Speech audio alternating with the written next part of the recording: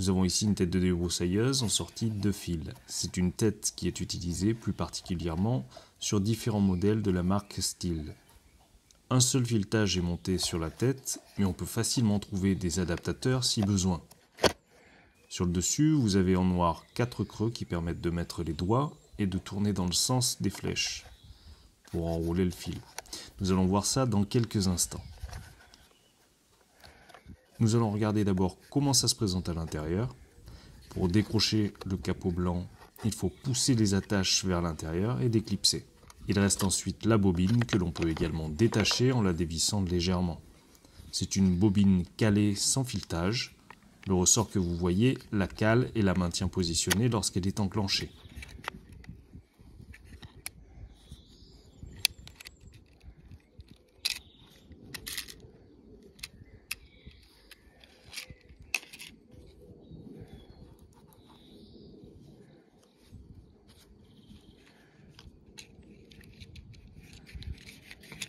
Ensuite, on peut voir le fil. Pour l'enlever en totalité, il suffit de tirer dessus simplement.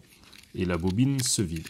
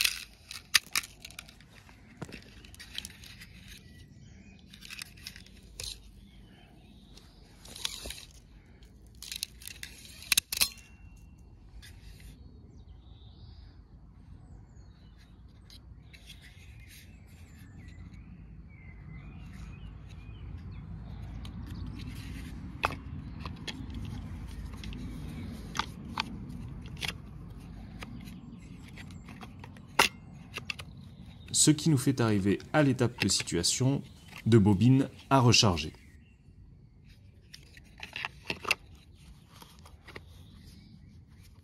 Il faut recaler la bobine sur le ressort et la tourner d'un petit quart de tour.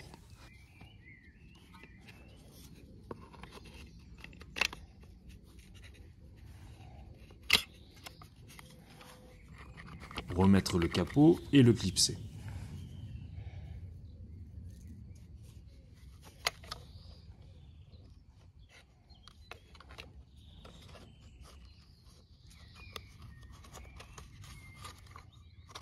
On se retrouve avec la bobine vide dans la tête de débroussailleuse fermée.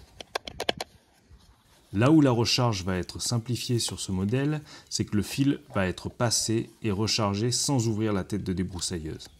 On passe directement le fil dans le trou de la tête en poussant d'un côté, le fil ressort du côté opposé. Vous avez deux flèches face à face qui mentionnent le positionnement des trous. Il ne reste qu'à tirer le fil à sa sortie pour le dérouler. On essaiera d'avoir la même longueur de chaque côté. Et avec le centre de la tête, on va ensuite tourner dans le sens des flèches pour enrouler le fil facilement dans la bobine. S'il y a un excédent, nous pourrons toujours le recouper.